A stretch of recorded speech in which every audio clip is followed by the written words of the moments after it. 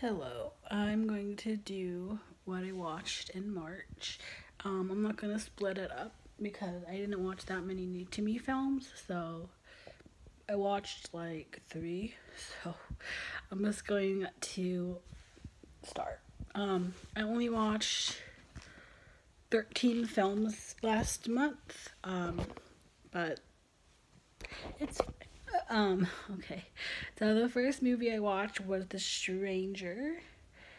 I don't remember I I it was it was on Netflix.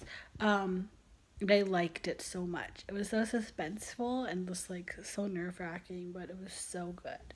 Um then I watched The Hindenburg, which again was really good. I'm so glad the dog lived. Like you have no idea how happy that made me.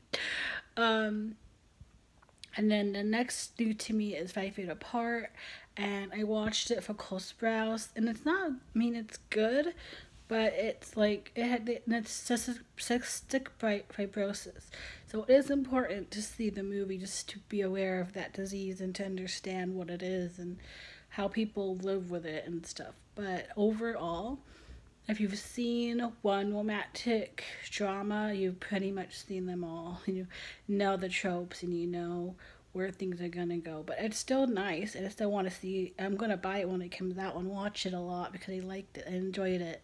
But it's nothing special in the long run. But um, yeah. So now on to what I own. I watched Tangled, which is so sweet. I just Tangled is just such a beautiful film, all in all.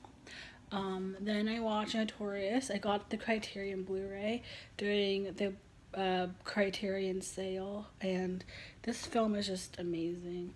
Um, then I watched Moonrise Kingdom. Then I watched Jumanji.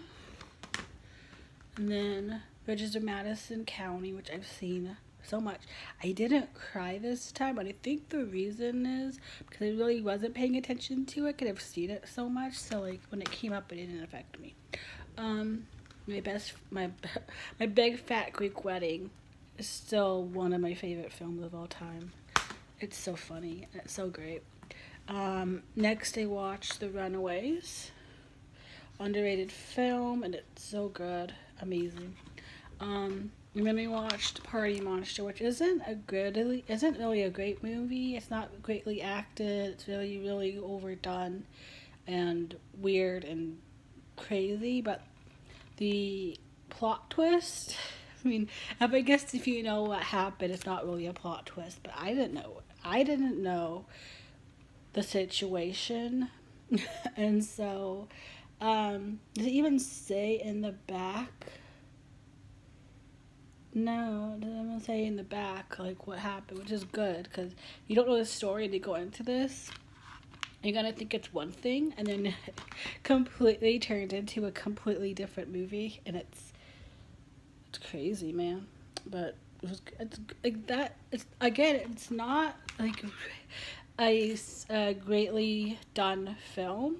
It's just the situation that happened that you don't really see coming that like blew my mind. Um, next is Carnival of Souls. Then Very Good Girls.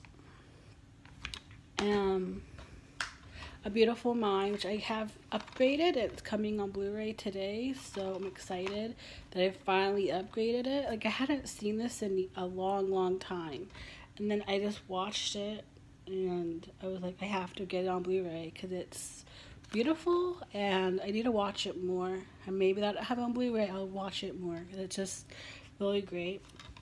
Um, and then and then the last film is Nerve. Last year I watched it every month, and I still love it, but I don't want to watch it every month anymore.